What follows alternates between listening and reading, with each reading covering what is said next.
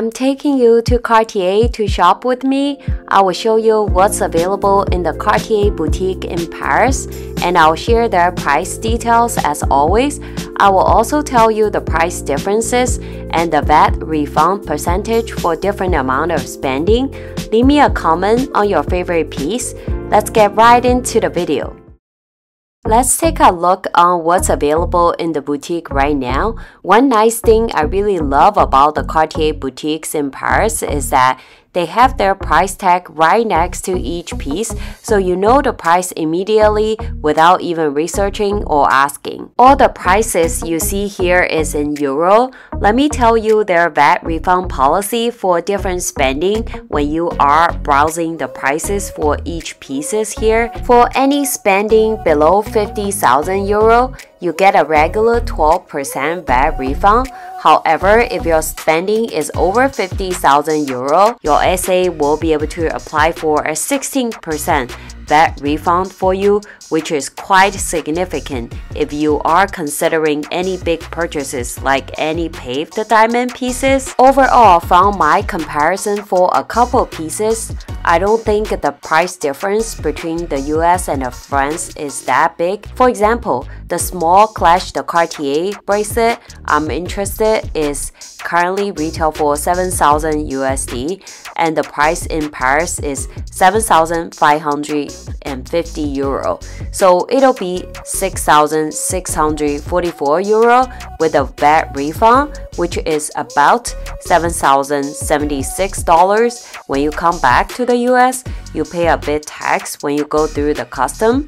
So in the end, the price difference is really not that much. To me personally, I'm much more happier to purchase the pieces in the US instead of having to carry it back. What do you think? Here you can see the price for love cuff and love bracelet in gold and white gold and the love ring. If you are a long-term subby of my channel, you know that I have tons of Cartier shopping vlog on my channel already. And I'd be honest that I feel I have already tried on so many Cartier pieces for you. So I definitely wanted to try on something fun and something that I have never tried on before including pieces from the Ecrou de Cartier collection here you can see the price for different pieces from the Juste un Clou collection, which is indeed one of my favorite from Cartier. Love the diamond Juste un Clou ring and also the double coil Juste un Clou ring as well.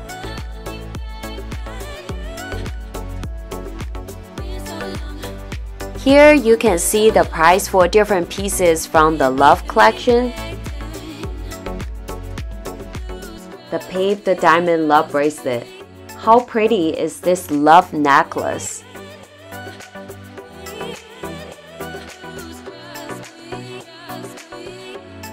Here you can see the price for different pieces from the Trinity collection.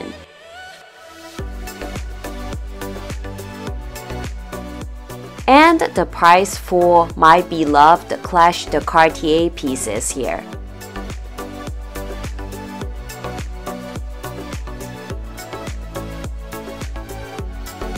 While you are enjoying these eye candies and checking out their prices, let me show you the fun pieces I tried on today and my thoughts on these pieces as well. If you want the regular love look and also really easy to put on and take off, the love cuff is something you could consider comparing to the regular love and the love small. The love cuff with one diamond here is currently retail for 6,300 euro. The diamond here is 0.1 carat. While it's not a piece for me if you watched my popular designer jewelry I won't buy in why video, it's still really good to check it out in person. Some of you recommended the Ecrou de Cartier bracelet to me. It's in the rose gold and size 17. It's definitely very cool and edgy design and it's currently retail for 7,850 euro here. The smaller size will definitely fit me better. I'm just not sure how it looks together with my other two pieces that I brought with me for this trip. What do you think? Will you consider the Ecrou bracelet? Leave me a comment down below to let me know. The Ecrou collection also has the Ecrou de Cartier ring available. This one has 30 baguette cut diamonds totaling for about 1.21 carats. The ring is currently retail for $17,600. I'm surprised by the price difference between the diamonds and no diamonds, as the same ring with no diamonds is currently retail for 2,620 euro. It's not like the diamonds are so significant here. I probably wouldn't want to pay for the 15,000 euro just for the diamonds here. What do you think? I do think the bracelet looks really good together with the ring. Perhaps my next piece should be a Juste un Clou ring. What do you think? The Panthere de Cartier bracelet in yellow gold onyx set with two tsavorite garnets is such a statement piece of its own. It's currently retail for 23,400 euro. In Paris, Panthere is always so Cartier and I think it's a really stunning bracelet. This Panthere de Cartier bracelet in yellow gold onyx set with two emeralds and 225 brilliant cut diamonds totaling about 2.55 carats is currently retail for 60,500 euro. Seriously, what an amazing piece, and I think a diamond makes this piece even stands out more. This size 16 is too big on me, and I do think that size 15 will fit me better. If you are considering any pieces like this one, it's definitely better to get the piece here in Paris since the VAT refund would be 16% on this piece. I seriously think the diamond one looks so amazing. If I get a piece like this, I will wear it on its own instead of stacking. What do you think of these two pieces? Diamond or no diamond? Leave me a comment down below. I would love to hear your thoughts on this as well. Remember the Panthere watch I was interested? Here is the small and the mini size comparison side by side. The mini is 3,350 euro and the small size is 4,200 euro. Mini is more like a bracelet and the small is more leaning toward a watch. I think I prefer the small size. What do you think? This one is the Panthere watch in the medium size in two-tone and rose gold set with diamonds and it's currently retail for 14,300 euro. It's a really stunning watch and the video doesn't do its justice. I love how the rose gold complementary to my rose gold and yellow gold bracelets here.